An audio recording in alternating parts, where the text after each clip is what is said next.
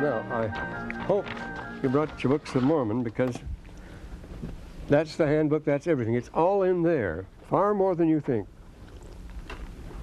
Far more than I ever guessed.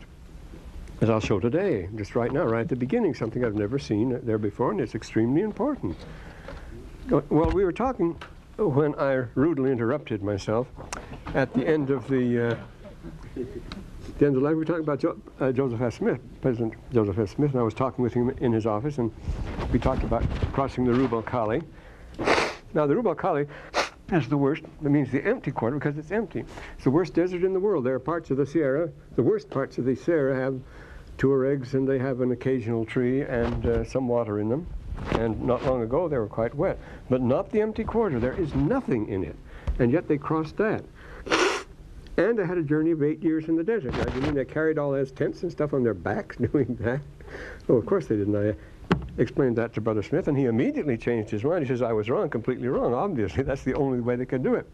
So don't get the idea that Joseph F. Smith was an old curmudgeon. He was not. He was very open-minded and very liberal.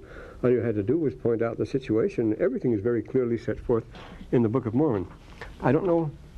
Oh, and here's another thing. I was saying, Yahudu Maudigamai. There are over 20 definitions of the word Hadiahudu given in the Book of Mormon, uh, in the dictionary. Uh, this you can put any vowels you want in it. If you call it Yuhawid, Yuhawidu, uh, that would mean that uh, he was um, he was in the water. He was uh, wading in the water. Hadiahudu, but in the second form, Yuhawidu, it means to wade in and be overwhelmed. Now, the editor assumes that this represents the water, and he's floundering around in the water. And if you change Yuhawidu, it has to change to Yuhidu. So Yahudu can mean to lead a horse to water. Uh, I mean, you would have an Arabic word with as many as a hundred different meanings. Can lead a horse to water, or to be tossed about by the water, or it means to struggle in water, to wade across water. Well, he's, if this is water, you see, he's in it up to the ears. And notice how his Hoda is, is flying and he's wildly waving his stick and so forth. Is he getting through the stream of water? And of course, we think of the, the filthy water in the Book of Mormon. And there's some interesting comments on that, and we'll get to that. We may get to that, the filthy water, because that's worth mentioning here. I have some pictures and things. But let's consider now uh, just this, uh, the second chapter. Well, the first chapter, they're going down very rapidly. We're not going to linger in the desert now. Eight years is too long for the course. So we'll have to get through fast. And uh, but some things to notice here uh, that he uh, notice. Well, here we start right out here. And he takes all his stuff with him. And then they go down in the borders. You see, it mentions twice the borders in the uh, fifth verse.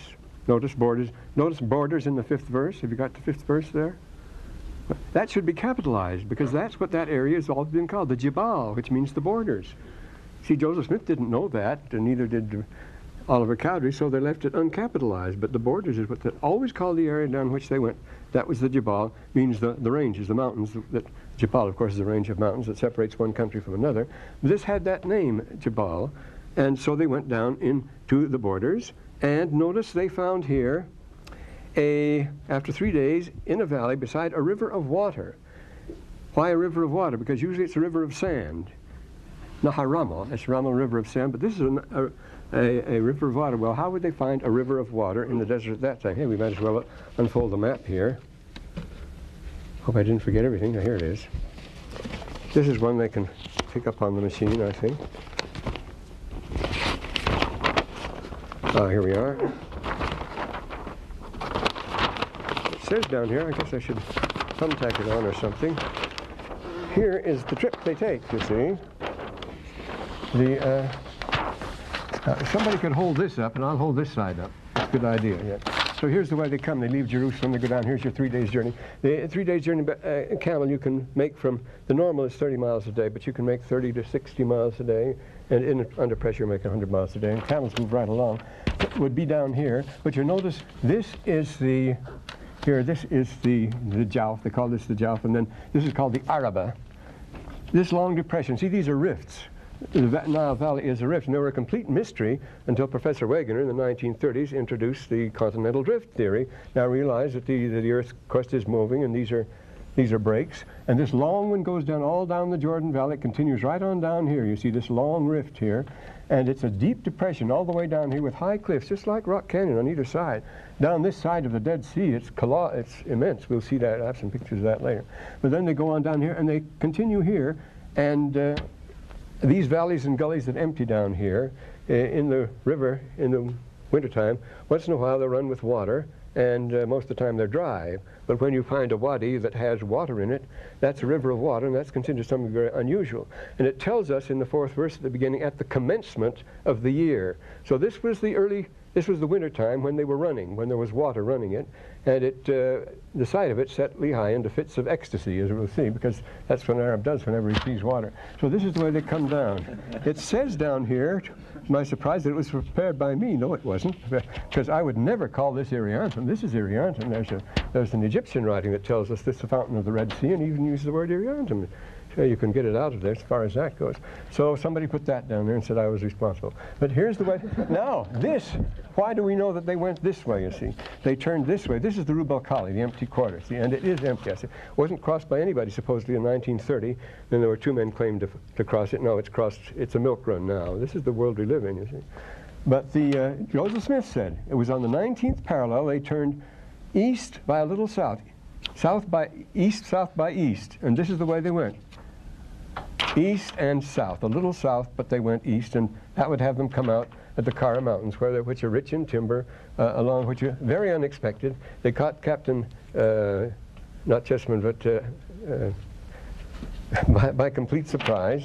Uh, well, well, I remember this captain is. Uh, Philby was the one that claimed to cross it, and then that was the father of the of the defector. You know, that was somebody else who wrote a great book on on Arabia. But this is Captain Thomas, Bertram Thomas, he was the one that discovered these mountains. They weren't discovered until 1930s. Imagine that. They didn't even know that there was such a nice fertile place there. So here's the way we go. Well, we'll refer to this later, and uh, you get the idea. They come down the coast there, and we can leave it. Too bad we don't have we don't have any. Uh, could have put thumbtacks there. No, they wouldn't go into the middle. Let's just there we go. We'll leave it there. It'll stay. Ah, good because that's the part there. And we're not lingering on geography or things like that. It's points of doctrine we're interested in now. And this is a very important thing. And then, as we noticed when they would, well, here, about, about the Kasida, we have to mention that, though. Uh, came to pass, he called the name of the river Laman, and it emptied into the Red Sea. And the valley was in the borders thereof. There's the borders for the third time, you see. This area called the Jabal. It's a mountain range uh, in the borders thereof near the mouth thereof, in the valley. And so it emptied into the Red Sea. We know where they were. And he, he renamed them. That's what the Arabs do when they go down here. After, all, if you're going in strange territory, you give names to things as you go. The pioneers did that. I mean, certain things like Chimney Rock have been named various things. Timpanogos has quite a number of names. They, they have renamed Mount McKinley now. It's back to, to now, or uh, it, it's, it's received its old Indian name. Different people name them what they think they are. But he named it that. And then I say, he recites a qasida. The oldest form of poetry in Arabic is, is a qasida. Qasida means when you're wandering and looking for something and finally come to some beautiful aspect of nature, a valley or an oasis or something particularly lovely, then you say, Kifaya Habibi, stop my two friends and let me, let me tell you about this. And then he compares these beauties of nature to eternal goodness of God and to human characteristics and so forth, and makes it a moral lesson for the beholder because it moves him very deeply. That's kasida, see. Kasida means to make a journey looking for, some, well, you're always looking for something. You wouldn't make a journey, you see. But the point is, if you're Bedouin Arabs, you're not going anywhere at all.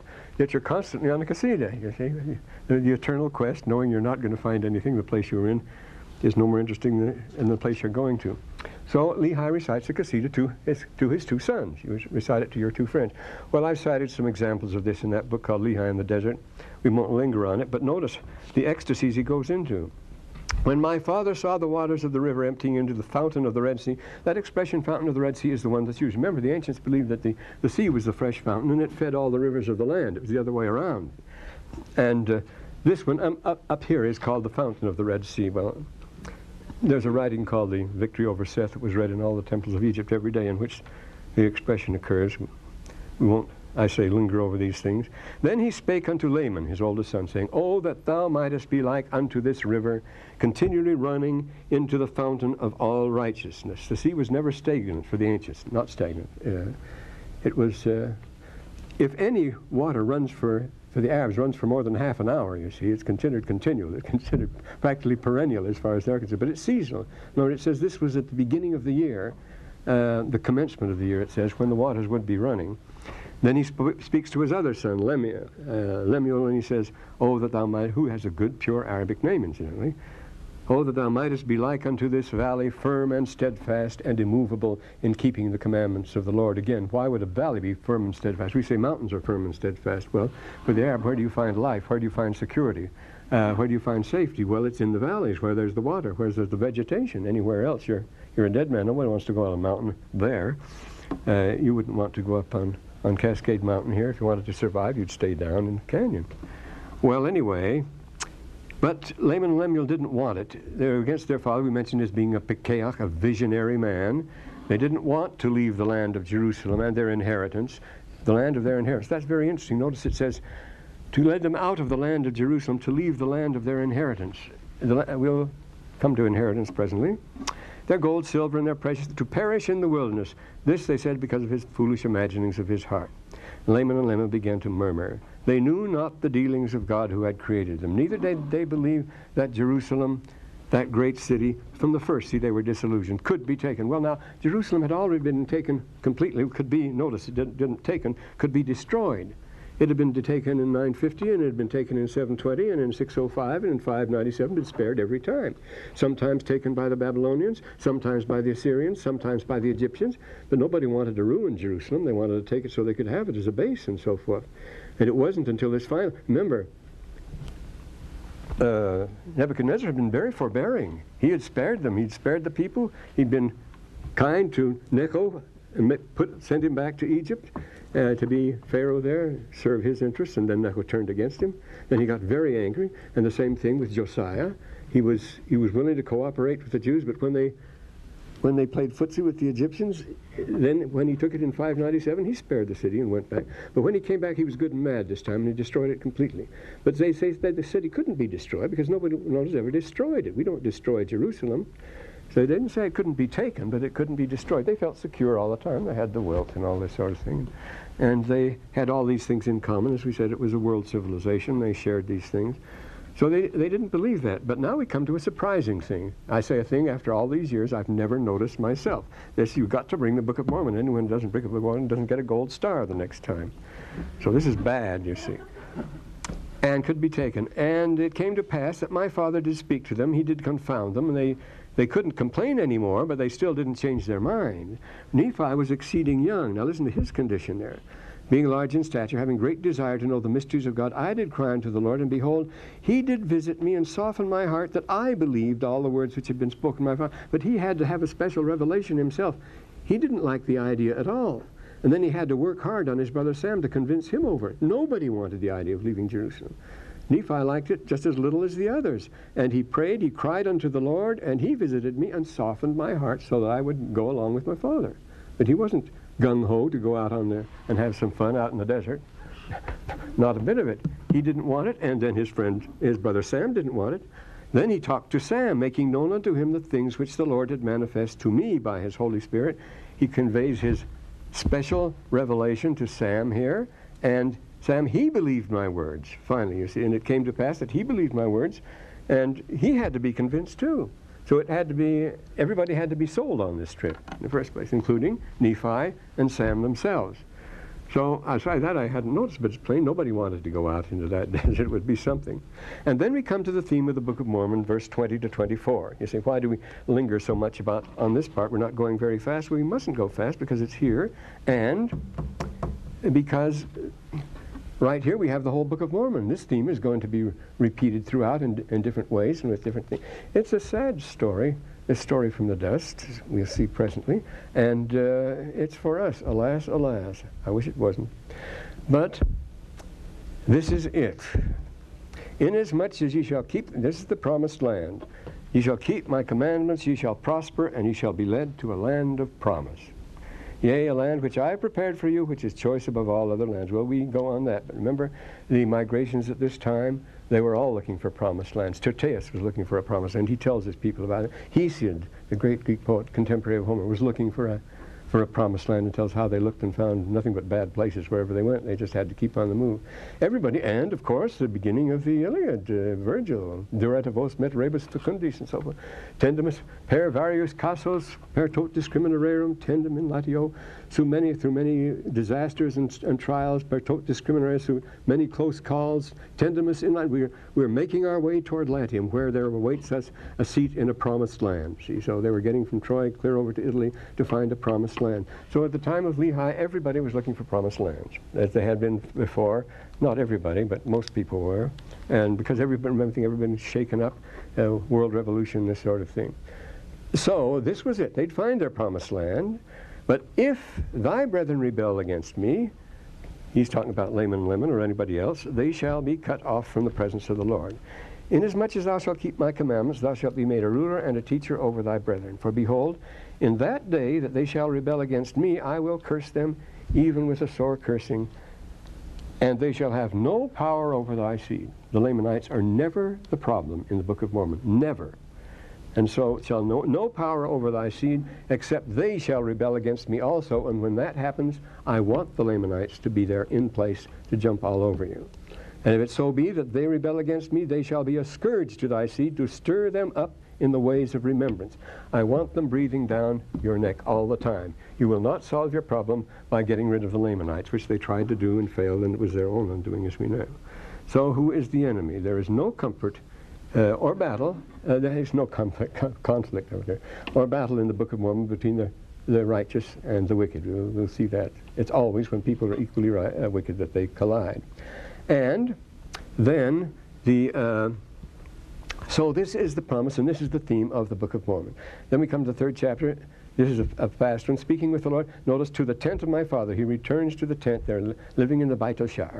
And uh, then he says, Behold, his father says, I have dreamed a dream. Notice this. I have dreamed a dream. Well, this is where he says another thing. I, Nephi, am speaking with my father. And it came to pass, he spake unto me, saying, I have dreamed a dream. And then they have to go back to Laban and fetch the place. Where we talked about Laban and the character of Jaush in the, in the Lachish letters. He was the military governor. He kept the records. We're going to have a new case turn up again today where the very same thing happens again uh, years later, where the records are kept in the, in the guardhouse. And then uh, well, when they go back to get the records, we've seen that. Let's let's rush along with chapter two, uh, three here. What do we do? Uh, let's go back here and uh, turn to a source even more important than the Lachish letters that tells an awful lot of things. Oh, this third chapter is vitally important. They, they're going to have to flee, and it must needs be that he flee out of the land. He must flee out of the land. That sometimes you can't stay. They have to. He says, "I don't have the vaguest idea why we have to obtain the records." Lehi says, except it may be to preserve the language of our fathers. It turned out that wasn't the main reason. Servant of the words of the holy prophets, since the world began, uh, quite a record. Uh, who were the holy prophets before them, and uh, as I say, I want to get off the first chapter, so we're going to move right on. So I'm going to go right over to the Bar Kokhba letters and the Dead Sea Scrolls, which are enormously important by the Book of Mormon. No, notice this here in the fourth chapter. Let us go again to Jerusalem. Then he says, For behold, he is mightier than all the earth. Why not mightier than Laban and his fifty, yea, or even than his tens of thousands? His garrison of fifty, his troops of ten thousand. Notice the, the, the regular maniple, the regular division in, a, in the army is ten thousand there, as it is uh, at the hill Cumorah, and as it is in the, the battle scroll too. So, uh, one wants to linger on all these things, but I want to talk about, uh, because we don't know anything about it, about the uh, these scrolls. Remember, he builds the altar. We have the altar here, and uh, so on the big map, you see the cliffs and the caves along there. These cliffs are also full of caves now. But this is the uh, Bar Kokhba. Now, this was in 1961. These are other scrolls from further down along the, the uh, I'll give you a map here. Oh, we can leave this one. We have some good maps here. But here along, as you go along this, along this rift, the cliffs are very high, as I told you, and here is where they found these scrolls. This is there's a bunch of caves in these caves along here. It's a very perilous situation. Oh, some good pictures here to show what the situation is. We can wave it around. Uh, see who comes down? Oh, the map's there. It's a small one. It's this sort of thing. Want to get the big maps. Now here's a, the valley where they found it. This is the, the Nahal It's the sort of stuff you find down in southern Utah, you know, very, very precipitous, very steep, and very dangerous, where they found these particular ones here, the caves across the way. Now, this is across the valley. On the other side, this is the Roman camp. And the Romans were camped here, and they could watch and see everything that was going on over there. So the people had to sneak out by night to get groceries and so forth. As a matter of fact, they were never able to escape, and they perished in these caves. Now, there are many of them. This is, these are the caves of documents. They were rich in documents, which is a very important thing. And uh, well, well, here, here, for example, you see how, how very, if you can see how very precipitous that is. As I say, uh, I wish the books hadn't been stolen, but uh, here are caves. And when the Jews were tipped off to this, the Israelis were tipped off, and they went up to start look for them, the place was crawling with Arabs, little Arab boys crawling all over the place because they knew they could get one pound for a square centimeter of, of a scroll if it had writing on it. And they got in there and they would collect them. And the best way, they found, why fight it? Uh, if they're willing to risk their necks, let them bring in the scrolls. And they, so they would provide them with uh, cigar boxes with, with cotton in them and say, now put them in here and then we'll pay you for them. And the bigger the piece, the more you'll get paid for it. So they got diligent uh, looking for these and they knew all about these caves. Uh, but fortunately, the people who were in the caves and hid there didn't just drop the materials and leave them. They buried them. They buried them on purpose in the earth so that they were still there. And we got these priceless documents from these caves along the Dead Sea. This wasn't in 47 where they got the other ones, but this was in 50 uh, in 61. Climbing up to the caves, I'm sorry you can't see it from there, but uh, here they are from the inside of the caves. I say there were many caves. Here's a map showing where they are. It's a good big map, so you can see it even from there more precipitous here, for example. This is the Cave of Letters. You see, it's a big cave. It goes in. Here's where they found, for example, uh, metal vessels, marvelous metal vessels. I mean, the, uh, well, I'll show you some of them anyway, just pointing out first. Here they found a cache of letters. Here they found a doctrine of uh, the Psalms. So they had the scriptures with them, you see. And here they found a bunch of keys to houses in Jerusalem and En Gedi. People brought their keys with them. They want to go home again. They locked up when they left, you see. They found a batch of keys. And here they found the Babata archives. Uh, the, a very rich woman had always been in legation, and she made herself a lot of money in real estate, and she kept all her documents, and they're there. And then we find out about lands of the inheritance and this sort of thing that they talk about. Remember the boys when they wanted to get their treasure, and it was exceedingly great, it says, and brought it back and showed it to Laban to bribe him for the plates, and that's all they did, of course, was grab the money and, uh, keep the plates too. But uh, the the, uh, we know what these lands of inheritance were. They say they went down. It wasn't in Jerusalem. It says we'll go down to the lands of our inheritance, and then we'll fetch back all these gold and silver and precious things, and we know where the lands of inheritance were. Because when, this should be a, a Dead Sea map. I can draw better than that. Uh, because they, they all fled south and east. All the rich people, all the middle class, fled south and east. The poor people stayed behind. They couldn't afford to go. And you see, Nebuchadnezzar spared them, and so from reorganized them under Jeremiah and people like that. And uh, but the rich people did exactly what uh, Lehi's people were doing. They skipped off in this direction. Well, in this one, so we have the archive of this uh, widow uh, Babata, and she's some dame. And then we have this marvelous glasswork here. And here's a net with all sorts of of sewing. Uh, some people brought their knitting and uh, to keep their clothes going, to make, repair clothes and so forth. And here is the a lot of skulls in a basket, lots of baskets and things. And here at the very back of the cave are the letters of Bar Kokhba himself. It was Bar Kokhba. See, Jerusalem, as the Book of Mormon tells us, has been destroyed from time to time. And this was a time, the, the letters further up north go from the time it fell in the year 70 to the Emperor Titus. These, when it fell again, Hadrian's time, in 132, finally, and Bar Kokhba had made himself president of Israel and organized an army, and he fought back. And these are the documents that have to do with that and tell us a lot about this. So this was later, and it had gone on before. But the surprising thing is, people had been going to these caves and doing this for hundreds and hundreds of years. Here, for example, we have, you can find them here, here. These things, these bronze mace heads, these strange temple vessels, beautifully made bronze things, they are over 5,000 years old. 3,000 years before before, well, 2,500 years before Lehi, but 3,000 years before these people went, the Jews were still hiding. And this time they were hiding from a pharaoh of the first dynasty of Egypt who came up and chased them out of Jerusalem. Way back there. Imagine that. Uh, of course, they weren't Jews at this time. Uh, there was somebody else. But people, this was the thing. That's what these caves are for. When you get invaded, you go hide in the caves. So these things had been hidden 3,000 years before Bar Kokhba. It's amazing extremely curious. He says, among the 240 different shaped objects of copper and so forth, about 20 chisels, axes of various shapes and sizes, 82 black objects bearing this, and here's a, a sort of crown. Now this is 3,000 years before Bar Kokhba went there. Uh, in 132 AD. So these caves were, this was uh, the milk run, so to speak. Anytime somebody rang the bell, everybody took off to the caves.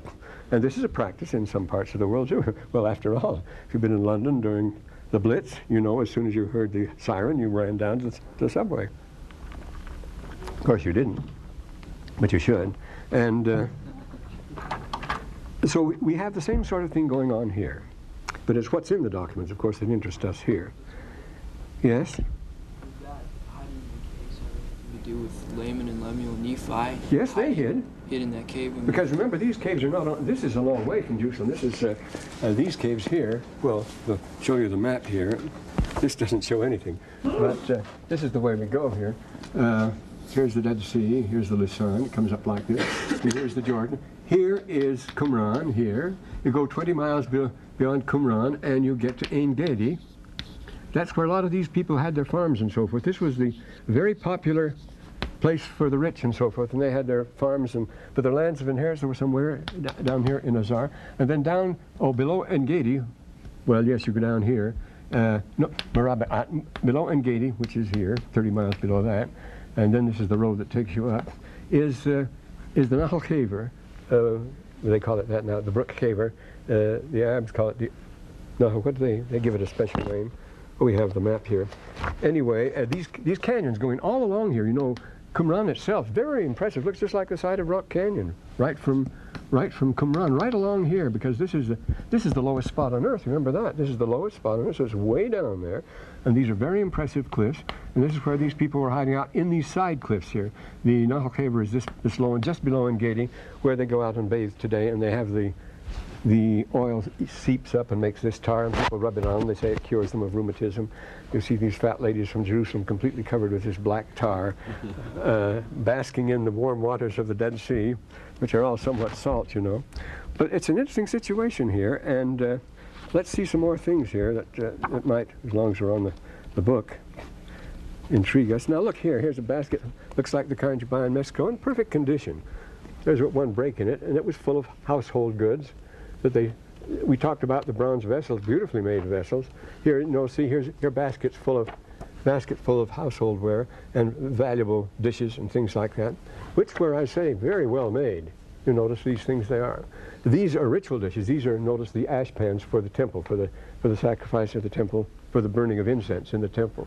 And so they bring their, their temple, their sacred vessels and their household effects, but also they, they bring their their business records, and that's the important thing about it because we know there's a marvelous section here on, on the business records.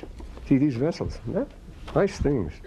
Uh, in these uh, caves, the whew,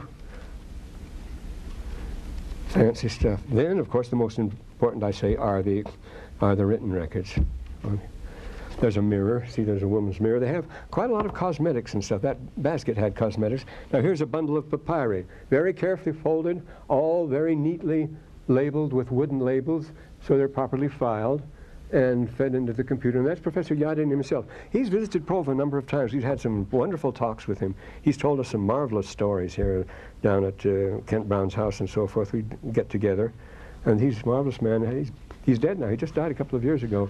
He's the head of the Israel Antiquities and also was the leader of the army in the 48 war. And he can tell some very exciting stories about that when they, that totally unexpected victory. And it's an interesting thing. The very week the war broke out, they discovered the battle scroll of the Dead Sea Scrolls, which described how ancient Israel went to war, had to be clothed with righteousness. So and it was that which fired them more than anything else, he said, to go ahead and win a war with the odds were 50 to 1 against them. They wanted it. I say I could, we could a tale unfold where that concerned. But anyway, here we get to the documents. One document is particularly interesting. Here they are digging in the caves. Oh, here are instruments. Here, a pair of sandals and household knives, uh, things like that. Another basket in very good condition. Uh, because I say this is, oops, we'll pick that up later. There's Yadin at work. And some of the more striking, here's a, a bundle of documents here. The big archive papyrus is found. Notice the meticulous wrapping and packing. This is the archive of papyri another one, and very carefully wrapped up. See, these people keep their records. Notice how record conscious these people are when they flee. The one thing Lehi wants to get, because the Lord told him to get it, they have to go back and get those family records. They have to get their genealogies in, and they have to get the books of Moses. They have to get the bronze plates. Here they are working in the caves. I wasn't in these caves, but I certainly climbed all over Qumran. Uh, and here is a prize as far as I'm concerned. As you go in the scrollery at Jerusalem, you turn it's called the turn to the left, and the first document to see is this document, which has a light behind it. It's a contract to the ownership of a farm down there. And one of the owners of the farm was this man here, Alma ben Yehuda, Alma son of Judah, which uh, Professor Yadin renders Alma, A-L-M-A, without any apology, son of Judah. Now, people have laughed for years about that name Alma, because Alma is a Latin word for, as a woman's name. It means soul, alma mater, and that sort of thing. And uh, they tried to figure out some Hebrew name like it, Alma, which means a coat of mail, one word meaning a young man. But this is just A-L-M-A like that, and so Yadin properly makes it Alma. And the son of Judah, you know he was a man, and you know he was a Jew, if he's Alma, son of Judah. But I'll write his name on the board. Some of you may have seen it before. That's the name. so it's very striking to walk there into the scroll, and the first name that hits you in the face is Alma, the son of Judah. So there was an Alma after all. It's a perfectly good Jewish name. But if people run out of town, how can they expect people to know about them? Uh, and so I say we have here a most remarkable find, and let us consider now. Oh, here's some, yes? Here's some of the keys. Here's some of the, the door keys you see there. I see. I don't think they're too subtle, but they worked. the wooden handles and so forth, yes. It's on a scroll. It's in the scroll in Jerusalem now. The scroll, that's that dome, you know, that spreads out like that, and you go in, it has the scrolls all around. When you go in, the first scroll you see, the one on the left, has a light behind it shining through. It's very pretty written. And there's, there's where you see Alma. So I say it meets you first. Well, we got to get on with this now to the serious stuff. And, uh, and then, this is very important. The Lord prophesied this very, these very destructions, the one, the 70 and the 130, 130 to 132. He prophesied those in the 24th chapter of Matthew, and Joseph Smith has chosen that particular chapter to give us a correct version, which it is a correct version. He puts everything in right and put it in the Pearl of Great Price as the second part of Joseph Smith, just to point out what the situation is, the way the way uh, the Lord makes it clear to the apostles. What's going to happen to Jerusalem when it's destroyed? When therefore you see the abomination, this is Alma, and not Alma, this is Matthew uh, 24, and it's the 15th verse of the King James. It's the 12th verse of the Joseph Smith. Joseph Smith rearranges the verses. They don't make sense uh, the way they stand now. And As a matter of fact, they are never used as sermons in Christian churches. There, there's a rule, avoid this because there's a good deal of confusion here. The uh, the verses have been rearranged to suit a particular prejudice, the prejudice being namely that the Lord would only come once, that he wouldn't come again. He couldn't, you couldn't have more than one destruction. Because that's the, the point of the whole thing. He deals of one thing happening after another. He talks about the destruction of Jerusalem, then the restoration, then the restoration of the gospel, and then the destruction in the last days. And he ends on the final note, uh, as uh, in our Joseph Smith version, Thus cometh the end of the wicked according to the prophecy of Moses, saying, They shall be cut off from among the people. But the end of the earth is not yet, but by and by. That's not the destruction of the earth at all. That's not yet. It's the end of the world. He says, This is the end of the world. He repeats it three times. Or the destruction of the wicked. But this is not the end of the earth. That's by and by. You don't talk about that. We don't know when that will be. That's another story. But here he describes exactly what's happening here when he says, and nobody notices either, at this time, it'll be a destruction. Them who, let them who are in Judea flee to the mountains. That's what they always done. They go, go to these valleys, these steep wadis, the mountains and the caves, which are right next to Jerusalem. I say these caves, there are thousands of them. They get, well, they've discovered Dead Sea Scrolls over 500, between 500 and 18 uh, documents from the Dead Sea Scrolls have been discovered in, in over 100 caves. You see, so the caves are all over the place, way down here. We're far above. This has nothing to do with the uh, Qumran caves. They're still Dead Sea Scrolls. And uh, so they flee to the mountains. That's what you do. But let him who is on the housetop flee and not return to take anything out of the house. These people return to take things out of the house. One person, Joe's wife, returned too late and she lost her life. Now, this Babata, she was rich and thought she could get her way out, but she lost her life. She, she couldn't get away with it. And so it's a very serious case. Don't go back to Jerusalem for anything this time. This is the big time, he says. Neither let him who is in the field turn back to take his clothes. And then he says, if you have new babies, get out of town ahead of time. Notice this is warning ahead of time. It's not just telling them how terrible it's going to be when he says, Pray that the Lord your flight be not in winter, neither on the Sabbath. You must arrange your things so that you can get out ahead of that. And if you have any women that are pregnant, he says, don't stay in town, get out of town in good time, and pray that your flight be not on the Sabbath. Uh, you, uh, you want to arrange it. For in those days shall be a tribulation on the Jews upon the inhabitants of Jerusalem, which has not been sent upon Israel of God since the beginning of their kingdom until this time, nor shall ever again be sent against Israel. What happened with these folks? That's when the Jews were driven out for the last time. I say the town had been taken again and again. As the Book of Mormon says, it had been destroyed, and people return. This time, he says, they're not coming back, not for 2,000 years. This is going to be by far the worst of all, and it was. The Jews never came back. Remember, they became non-persons. They had known no identity whatever. Then comes the great persecution of 2,000 years. As late as the 1850s, uh, the, the uh, Macaulay in his famous essay on the physical, and the, on the political disabilities of the Jews, as late as the 1850s.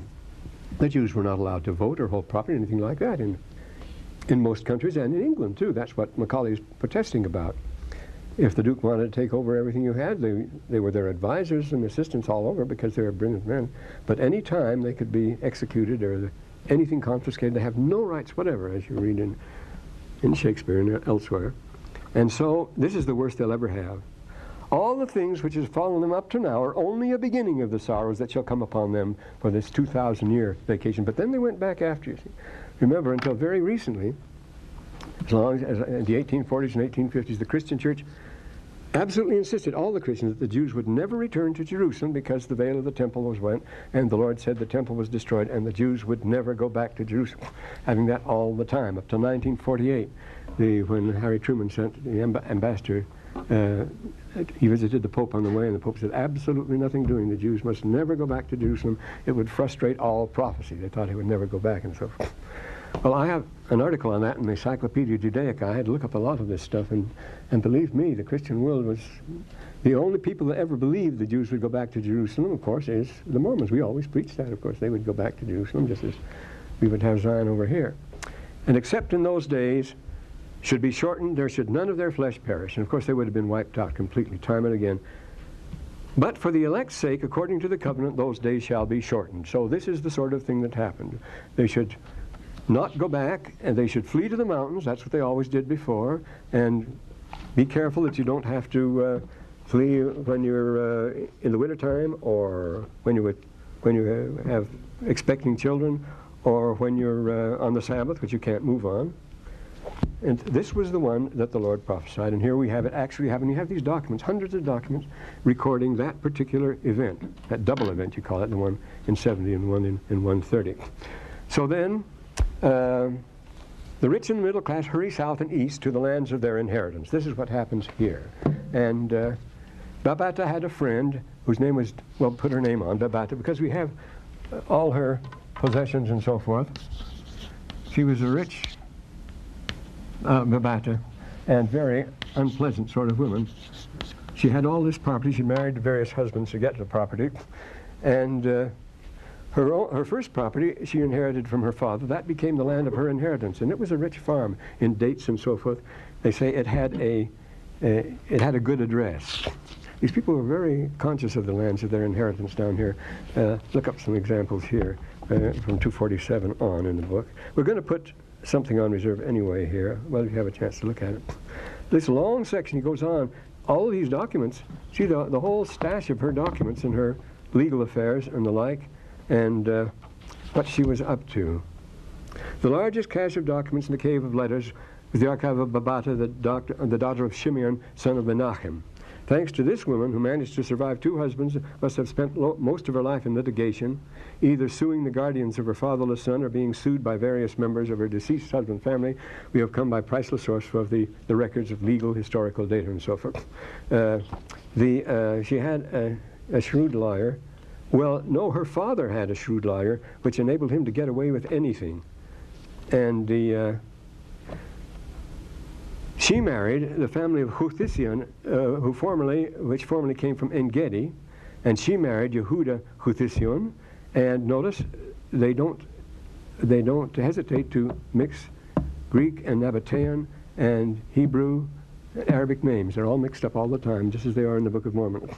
Yehuda Huthision, and he settled. He had a residence in Mahoza, and that became where he settled. That became his inheritance through her. You see.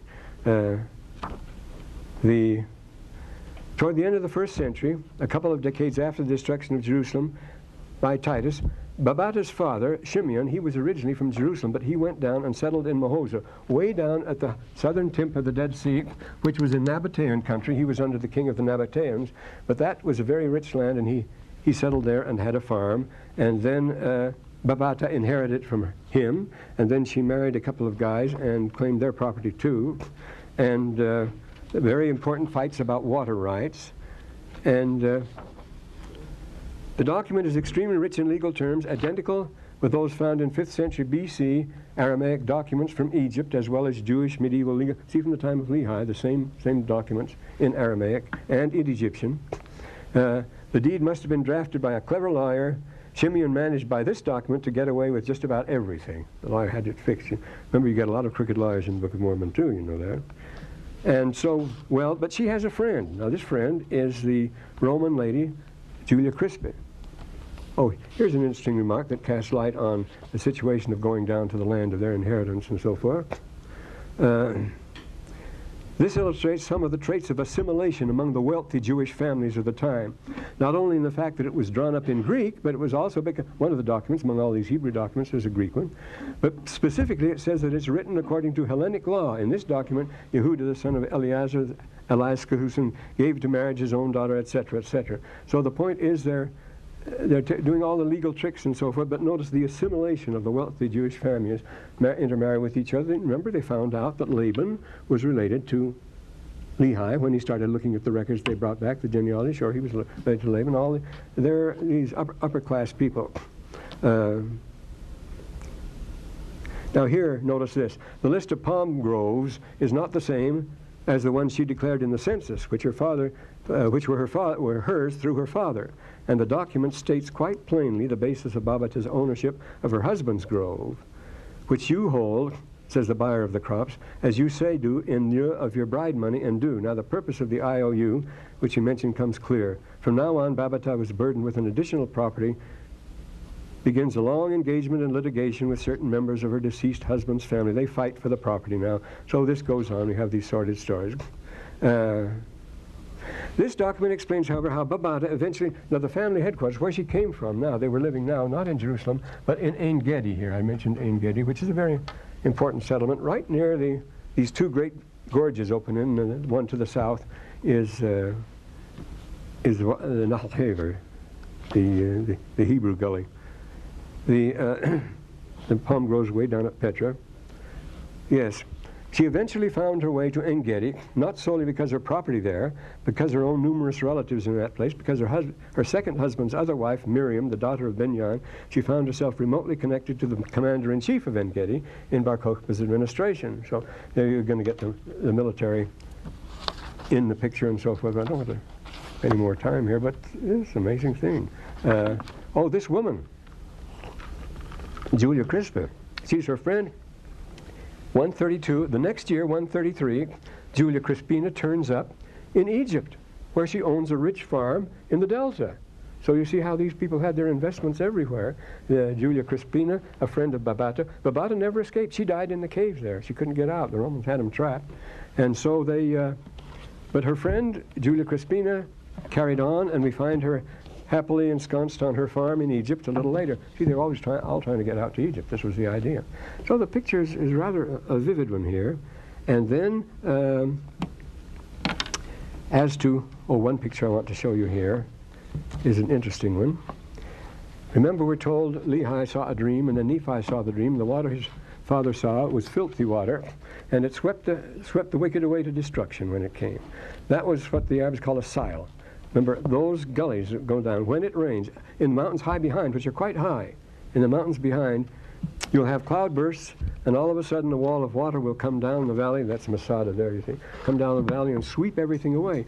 And for years they'll be dry, and so that's where most of the water and the, and the shrubbery is. So the, the Bedouins will come along and camp in the, at the mouth of the Siles. And there's lots said about in the poems and so forth about what happens when you're suddenly caught in this stream of filthy water and swept away. I cited some more passages on that in that book called Lehi in the Desert.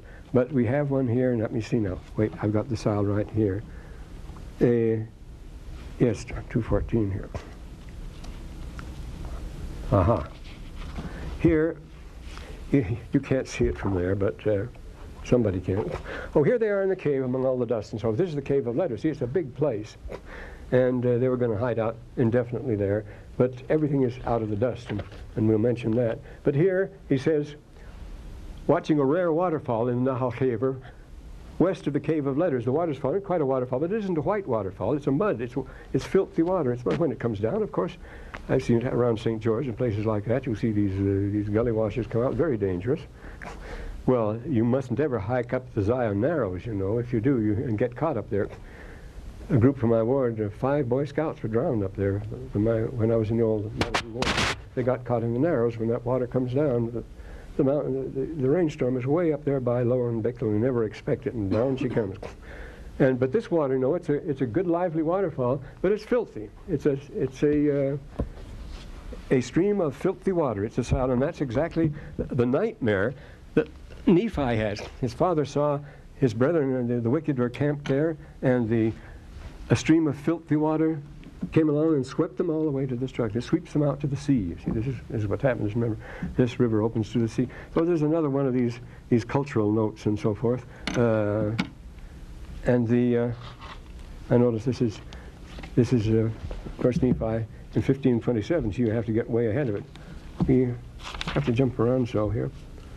Yes, and, and I said unto them that the water which my father saw was filthiness, and so much was his mind allowed, swallowed up in other things that he beheld not the filthiness of the water. And I said unto him that it was an awful gulf which separated the wicked from the tree of life. Remember that enormous gulf which you walk along in the desert and you come to one of those huge gulfs. You see, you get them in, in Canyonlands and so forth. I spent a lot of time down there. And uh, you notice that Roman camp, and then there was a 2,000 foot drop between it and the caves on the other side. They were right together but you couldn't get from the one to the other. And that's exactly what happens to the wicked. There's an awful gulf between them, and down that gulf sweeps this filthy water and sweeps them away, he says. That awful gulf which separated the wicked from the tree of life on the other side, and also the saints of God. I said to them, It was a representation of that awful hell which the angel said unto me was prepared for the wicked. The justice of God divides them. So he compares it to see this very thing. What meaneth, he said unto me, that river of water which our father saw? I said, Well, the water was filthy water, and uh, it was on the other side, it was ran down the, the gully and swept away the wicked. Well, now there's, uh, another scroll we, that's very important here, and uh, the only picture I have of the copper scrolls. Now, these copper scrolls found in Cave 3 are very important in uh, 1949. The copper scrolls, uh, Allegro, John Allegro wrote a book on them called The Treasure of the Copper Scrolls. Let's talk about them. And their particular value is, uh, well, there's a recent article about them here by Norman Golb from 1987. But they were not on rolls. They weren't on rolled copper or anything like that. They were on sheets, regular size sheets like this. And then there were holes along here. But they riveted them together and then so they could roll them up. And the reason they put it on copper so they couldn't perish, because they were, as he tells us, Golb tells, because they were extra valuable. They, they had to be preserved, so they put them on bronze or copper. It's almost pure copper. It's a slight alloy. And uh, It was so, of course, it was so oxidized, it took them, well, they weren't able to unroll it. They had to split it uh, at Manchester. They had to, with a fine diamond saw, they had to split it down. So now, now they can lay it out in sections and read it. It tells where all the other stuff is buried, where all these other treasures, and where the written documents are buried. This is it. This is why it's so valuable. So when it became extremely important to keep a record, they kept it on, on bronze, on You'd say the brass plates. Remember, brass is a new word. It's only used in English uh, since the end of the 19th century. It's the bronze is the French word. We always said brass. The Old English is brass. You won't find the word bronze in the Bible at all, though it's a the Bible is a Bronze Age document, the Old Testament, because we call, always called it brass. The same word. You just drop the n out is all. The French called it bronze. We've taken bronze. So when he says brass plates, it's perfectly safe to think of those as bronze plates because that's what they're. They're not made of glass, which is a mixture, you know, as copper and nickel, whereas bronze is copper and tin, and. Uh, and much more common, much more easy to make and so forth. There were, but I say throughout the Old Testament, uh, the word bronze never occurs because it's always brass. That's what you mean when you mean a, a copper alloy is always brass in English, and that was 17th century English anyway. So it makes no difference. The, the main thing is that it's copper base, isn't it? But this copper scroll is that, and it tells about uh, where the most valuable treasures are buried, and they're hidden all over the place, and where the records are to be found, and uh, will we ever be able to run them down? This is a very interesting, you see, confirmation of the idea of, uh, of bronze scrolls and the constant concern with burying and keeping records, which is an obsession in the Book of Mormon, as you know, along with the gold plates. So then we get to the, uh, oh dear, uh, the most important thing, what, what this is all about, you see, all this cultural note and stuff is just to back up other things. Uh, when you say we came down and reached the Qara Mountains, I say Captain Bertram Thomas discovered them in 1930. Uh, here's a picture of them. It's a very lush, beautiful mountains which are unexpected. It says right on the edge of the Rub al Khali, the most absolute desert in the world, and they come as a total and complete surprise, and there they were. Well, but what interests us most here, of course, is the, the doctrine we're talking about, because what do the scrolls tell us and so forth. And this is extremely important. I see this article about in May and June of the in the Sciences by Norman Golb at Chicago. And up until now, see, they found these scrolls and they didn't like. I'll have to get that article from the uh, the Atlantic in 1960, that written by John Allegro. He wrote. he was one of the first students of the scrolls, and he lost his job at Oxford because in 1960 he wrote an article pointing out that everybody hated the scrolls. The Jews wanted nothing to do with them. The Christians wanted nothing to do with them. From 1950 to 1960, instead of getting all excited about them, the first discoveries being made in 1947, and that's another story. You'd be surprised how the church, how the church is involved in this. You'd be surprised how the church in, in the scrolls and so forth. I don't want to stray around, but oh, I see the time is up now. But in 1964, I was sent back there, and uh, I did an awful lot of snooping and so forth by the church, you know. and uh, it was touch and go. There was nobody there. You see, it, it come around or anything. It was during they were having a big fight, and they were going on all the time. And it was it was really a, a risky business, but there were some remarkable things about the scroll. For example, the scrolls were discovered by a shepherd boy called Muhammad Dib who was up looking for sheep, Muhammad Wolfsi, and he threw, a sheep went into a cave and he threw a rock after it and it went a clink and he heard the clink and went in and discovered the scrolls. As he tells us here, he gives an account of that story here. Well, uh, I stayed a, a week with, uh, at the American University in Beirut, and it was all trouble then, the shooting in the streets and everything. The airport was closed, everything like that.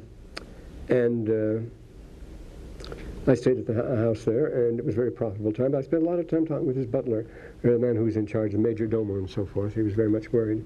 And uh, he was very much interested in the gospel. He, he especially went for the Pearl of Great Price. But the interesting thing is that he was the uncle of that Muhammad Dib that discovered the scrolls. And I see these things all tie up, and then I get into another situation and so forth, and strange things happen. But we're going to talk about the doctrinal teachings of the scroll and why they didn't like them. Uh, a few years ago, six or seven years ago, uh, the foremost Catholic scholar of the scrolls, Father Joseph Fitzmyer, he taught here in summer school. He gave a course in Aramaic. Of course, there were only three or four people in it. And uh, he was the Catholic authority on the scrolls, and uh, Father de Vaux and Father Milik was the one who was editing, say, the Enoch scroll and so forth. And, uh, well, he said that uh, not 5% of the scrolls at that time, just a few years ago, had ever been translated, ever been published. They just want to leave them alone. They say, the trouble is, you see, that uh, the Jews say it's much too Christian, this is what's going on. And the Christians say, well, now wait, this robs us of our originality, with the Jews having their sacraments and their 12 apostles and things like that before the time of Christ. What's going on here? They don't want them either, you see. So neither the Jews or the Christians want them, so uh, sort of a pact of mu- mutual consent. They soft pedal them, and uh, they don't like to talk about. And Norman Golb had the nerve. You notice it wasn't published in a Jewish publication or anything like that. In fact, uh, Solomon Zeitlin, uh, the editor of the Jewish Quarterly Review, they ran a long article of mine in two issues. Uh, he is the grand old man of Hebrew, and he always thought the Dead Sea Scrolls are nothing but a medieval forgery. They're a fake. Somebody faked them in the 14th or 15th century, he said. And he, he wouldn't be shaken from that with all the evidence in the world. I remember talking to, uh, to Professor Albright uh, that back in, uh, in Johns Hopkins, and he was, he was well, uh, Joseph Sod said, uh, Professor Albright really discovered the Dead Sea Scrolls. He recognized what they were. And I said, what about the, the carbon dating, all the rest? Won't they recognize? He says, they will not recognize them. They do not want to recognize them. They'll fight to the last ditch before they'll recognize them. Same thing with Solomon's, the the same with Solomon Schechter, the, the Cambridge Jewish scholar. They said they had to be a fake because they didn't want to believe this. But the trouble is, you see, what you find here is not standard normative Judaism, but Book of Mormon Judaism, and that's the trouble, you see. These are the doctrines you read about. This is the kind of Jewish teaching find in Book of Mormon. Well, we'll mention this the next time, uh, and then, gee, I wish we could go faster and slower at the same time.